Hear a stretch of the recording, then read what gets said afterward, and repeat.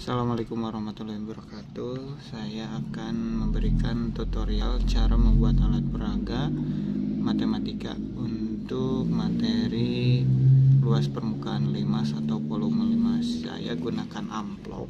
Biasa ini bekas ya. Baru juga nggak apa-apa Tapi saya gunakan yang bekas sudah dilem. Ya, Saya ambil isinya seperti ini. Nah dari amplop bekas ini ya yang bolongnya bawah nih yang udah dibuka silakan dilipat. Ya dilipat. Berdua. Seperti ini. Dilipat supaya tengahnya ada tanda. Setelah itu kita akan lipat lagi sisi ini sampai menyentuh tanda bekas tengahnya ini. Yang ujung ini kita lipat ke tengah seperti ini. Ya. Ini hanya untuk memberi tanda yang tengah ini. Ya perhatikan. Sudah ada nyentuh ke lipatan yang tadi dibuat di awal. Nah kita beri tanda seperti ini. Balikin lagi. Tanda yang tadi kita lipat. Nah seperti ini. Ya. Perhatikan yang bolongnya ada di bawah yang kita akan gunakan yang atas. Maka yang ini kita akan gunting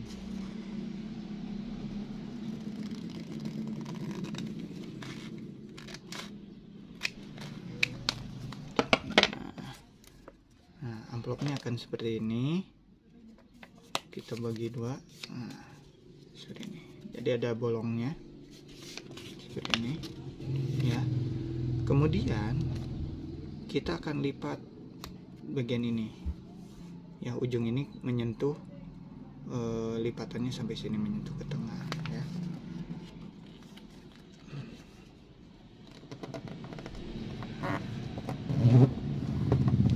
ya lipat seperti ini. Satu satu lagi.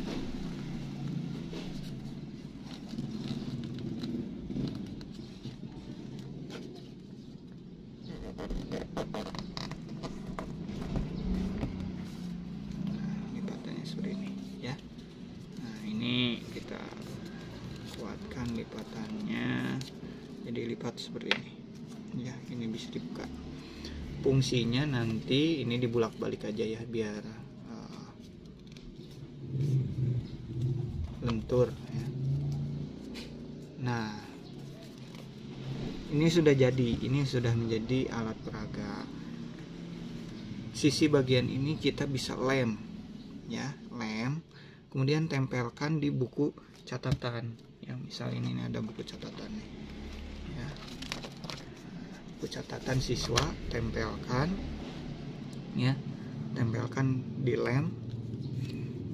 Tempel seperti ini siswa bisa membuka alat peraga ini ya. Kita buka alat peraganya. Nah ini akan menjadi lima seperti ini ya. Ini menjadi limas. Limas segitiga sama sisi ya. Jadi siswa bisa mengukur luas permukaan setiap sisi limas ini ya jadi ini menjadi alat peraga ditempel di buku seperti ini ya. Ketika sudah tidak digunakan ini dilipat ya. Terus ditutup. Siswa bisa digun siswa bisa pulang ketika di rumah dibuka ya. Nah, dibuka. Di sini nanti ada catatan-catatannya bisa digunakan. Ketika ingin menggunakan lagi si amplop kita tutup atau kita ubah menjadi bangun ruang sisi datar seperti ini, ini sehingga menjadi limas ya. Bisa diukur nanti tingginya berapa dari mulai tengahnya ini tinggi limasnya berapa seperti ini ya. Ini yang inci ya kita gunakan senti. Nah jadi nanti bisa menentukan eh,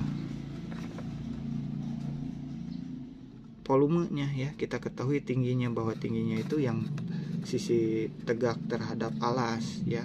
Bukan yang miring seperti ini tapi tegak terhadap alas seperti ini. Ini seperti inilah alat peraga praktis dari amplop sisa ya. Ini bisa ditutup bisa dibuka lagi seperti ini jadi jadi lima segitiga. Gitu ya. Terima kasih. Assalamualaikum warahmatullahi wabarakatuh